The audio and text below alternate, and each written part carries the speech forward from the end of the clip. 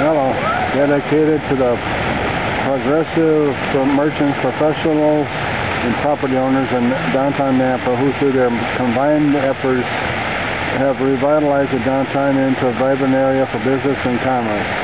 10th anniversary, April 95. So this is the uh,